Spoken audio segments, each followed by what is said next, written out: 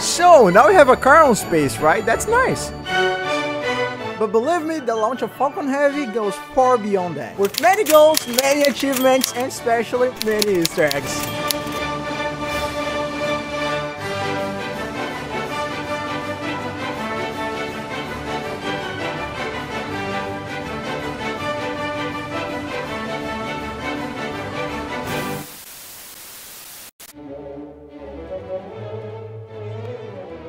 Well, just recapping a little bit for those of you guys that have been living in a cave for the past few weeks, we launched a new rocket into space. It's called Falcon Heavy. It was made by SpaceX, a private rocket company founded back in 2002 by Elon Musk, who also happens to be the CEO of Tesla Motors and the founder of X.com, which later became PayPal. One of the main goals that Musk had when he started the company was to reduce the costs of space transportation. Because if you think about it, they used to spend millions and millions making rockets for them to make one travel, and that was it, it was over. You couldn't just reuse them because of all the damage they had already, and fixing them wasn't worth the money either. So Elon Musk said, okay then guys, we're gonna make cheaper rockets and we're gonna make them reusable so we can send them into space and they're gonna come back to us impeccable, so we can stop wasting our money on single-use rockets. And yeah, that actually took quite some time and quite some money to achieve.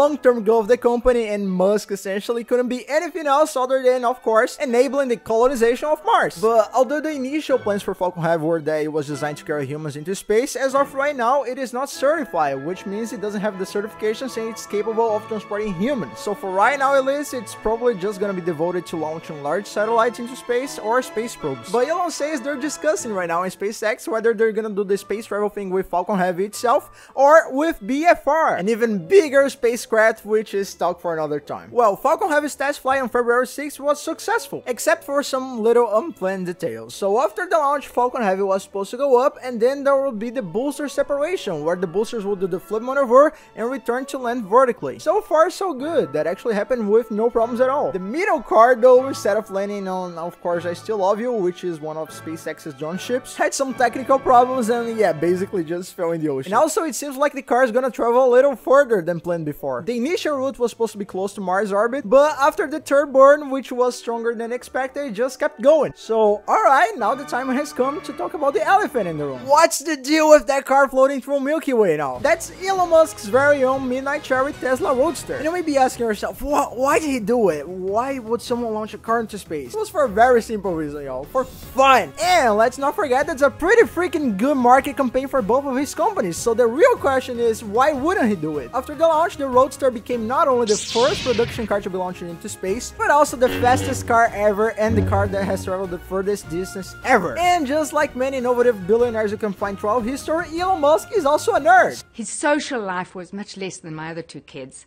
And that's a typical nerd. I read all the comics I could buy or that they'd let me read at the bookstore before chasing me away. I read everything I could get my hands on from when I woke up to when I went to sleep. At one point, I got I, I, really ran out of books and started reading the encyclopedia. So he couldn't help but view everything with Easter eggs and references to pop culture. So get ready, because in the end of this video, we're gonna be just like Captain America.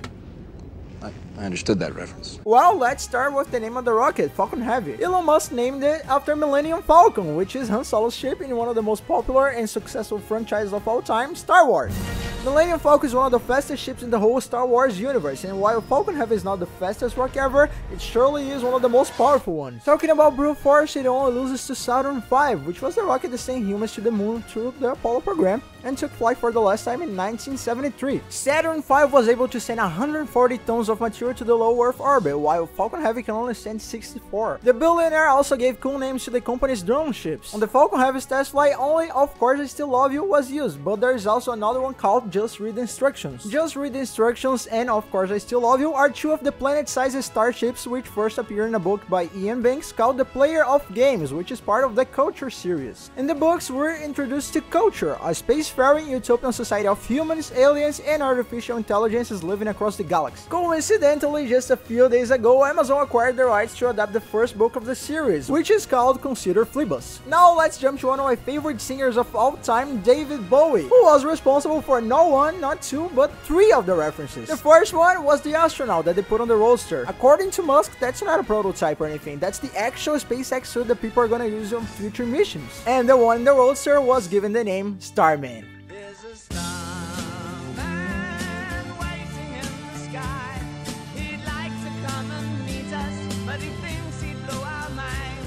Also, as Musk said on Twitter, the car is playing Space Oddity in a loop, which is another one of Bowie's greatest hits.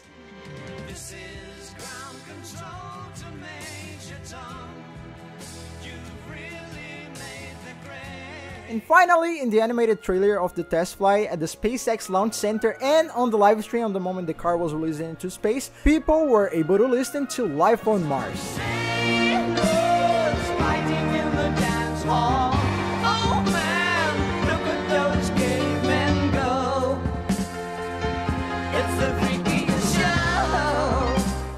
Now, if you look at the car's dashboard, you can see something little right in the middle. That's a miniature of the Roadster made by Hot Wheels with a little Starman put by Musk. Elon Musk talked about it and he said, maybe it'll be discovered by some future alien race thinking, what the heck were these guys doing? Did they worship this car why do they have a little car in the car? That will really confuse them. And right under it, you can see a screen saying something too. Don't panic. That's a straight reference from the Hitchhiker's Guide to the Galaxy, which is one of my favorite books ever. It's already supplanted the Encyclopedia Galactica as the standard repository of all knowledge and wisdom for two important reasons.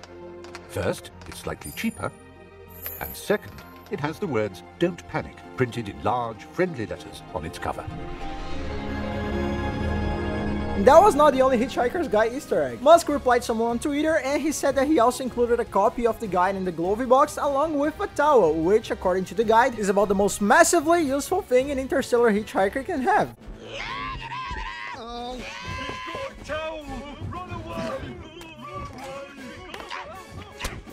They also included an Arch storage system containing Isaac Asimov's Foundation book series. An Arch is a 5D laser optical quartz storage device made by the Arch Mission Foundation to be able to survive even in the harsh conditions of space. The Foundation series is about a man who predicts the future of mankind, establishes a long-term plan for the progress of human civilization, and is viewed as a legendary savior for the entire course of human history as a result of that. Sounds familiar? Short after the car was already in space, Musk posted a new photo on Instagram and said, printed on the circuit board of a car in deep space. And if you look at the photo, you can see that they printed on the circuit board made on Earth by humans. If aliens ever find it, I really do hope they speak English. They also had the names of more than 6,000 SpaceX employees engraved onto a plaque mounted on the payload attached fitting, which was the structure that held the Roadster onto the second stage of Falcon Heavy. But that's it people, we really hope you enjoyed the first video here on Dragonverse. If you're curious and want to know where the Roadster is right now, you can check the website whereisroadster.com. If you like this video, don't forget to leave a thumbs up and subscribe to the channel so you don't lose any new video. Thanks for watching and remember, never stop wondering, because in 1964, people wonder if we would ever have flying cars, and in 2018, that's our reality.